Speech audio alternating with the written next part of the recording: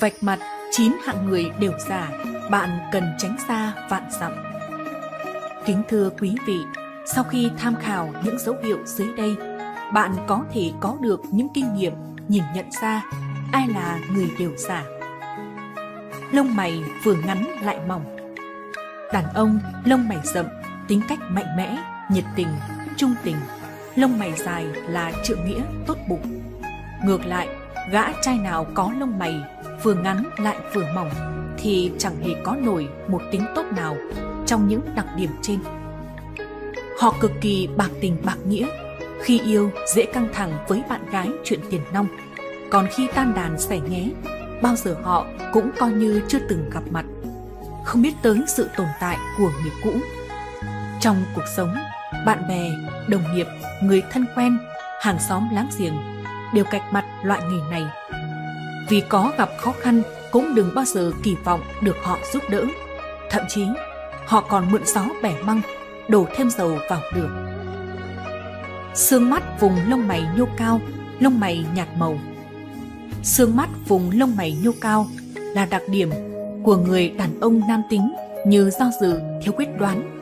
Cộng thêm đặc điểm lông mày nhạt màu thì thật ra anh ta chính là một gã bạc tình chính hiệu.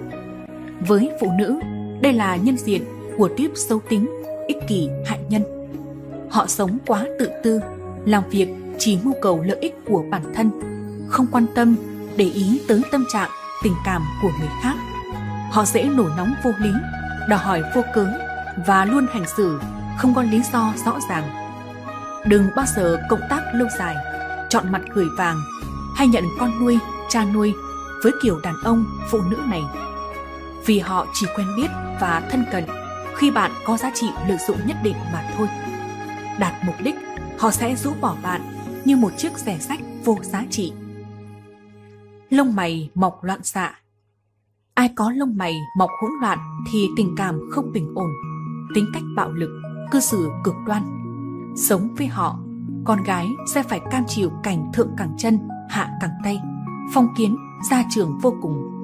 Ngược lại, đàn ông lấy phải vợ kiểu này cực kỳ mệt mỏi, khổ sở vì sợ hãi, khủng bố tinh thần.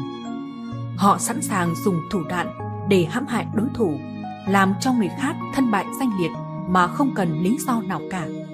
Sống với họ luôn ở trạng thái rẻ chừng như cưỡi lên lưng hổ. Lông mày sách thể hiện bản chất là người đều giả. Kiểu lông mày này cho thấy người này tâm địa độc ác nhưng suy nghĩ lại đơn giản người ta gọi kiểu lông mày này là lông mày hình hổ. Lông mày của nam giới thì đậm nhưng thô, lông mày của nữ giới thì mảnh và nhạt. Nếu lông mày dày và thô, dài, với cả nam và nữ, thì người này thường hung ác, âm địa ác độc. 2. Bàn tay lạnh Người có bàn tay lạnh, bất kể thời tiết nào chăng nữa, thường sẵn sàng bất chấp mọi thứ để có được điều mình muốn đây là người không thật tâm. Miệng nghĩ một đằng, nhưng ngoài mặt lại nói một kiểu. Họ cũng sẵn sàng luồn cuối và có thể dùng mọi thủ đoạn để lên chức. Ba, sống mũi như lưỡi dao đây là kiểu sống mũi chỉ có xương mà không có thịt. Nếu có dính một chút ít thịt thì anh ta hoặc cô ấy còn là người có chút tình nghĩa. Nhưng nếu thẳng đứng, thẳng tắp, đầu mũi nhọn hoặc là diều hâu nhỏm mồi thì xin chia buồn là kiểu người này tiểu nhân, xấu tính và nhiều thủ đoạn vô biên. Họ luôn trèo kéo lợi dụng người khác về tiền bạc, tình cảm, chu cấp mọi bề, sau đó giáo hành nói lời chia tay, rũ bỏ khi mà tìm được đối tượng hoặc là cộng sự, đồng nghiệp tốt hơn về mọi mặt. Họ là điển hình của dạng ăn cháo đá bát. 4. Người đều già ác khẩu hay chê bai. Các cụ có câu khẩu xà tâm Phật. Tuy nhiên, ác khẩu cũng cần có chừng mực. Bởi lời nói sắc nhọn có thể là vũ khí hủy diệt lớn hơn cả dao kéo. Những người ác khẩu cũng là người trừ đồng giỏi, chứ chưa chắc bắt tay vào làm việc đã làm tốt.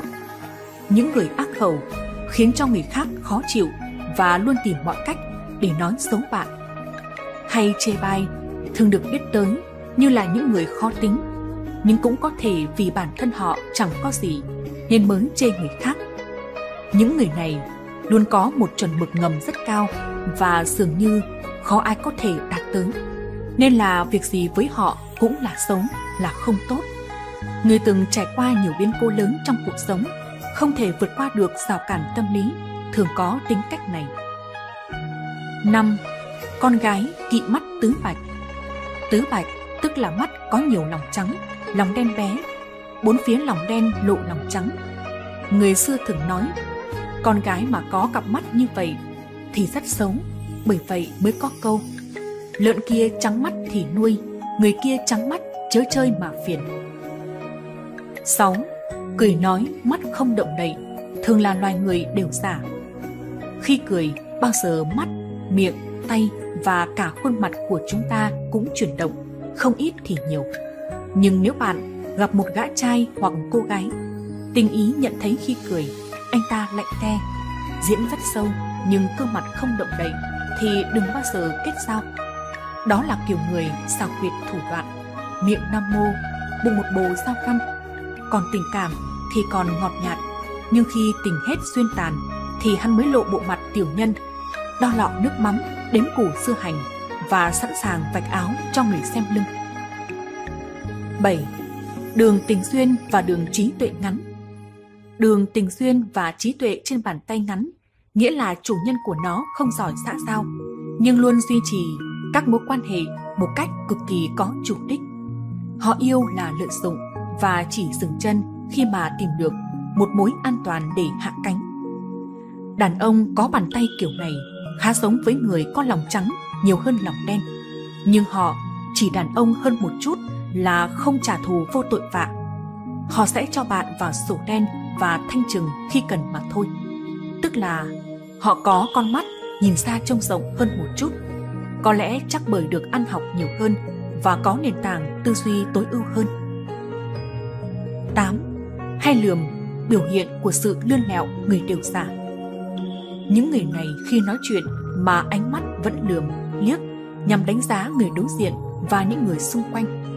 Đây là những người có nhiều thủ đoạn hay tính toán, nhỏ mọn, lòng dạ lại hẹp hòi. Với những người này, dù miệng lưỡi của họ có hay nói lời ngọt ngào, thì cũng khiến cho mọi người có cảm giác không muốn tới gần. 9. Cằm trơ xương rất giống bản chất người đều giả. Xương cằm trơ khớp, nhìn chẳng thấy thịt.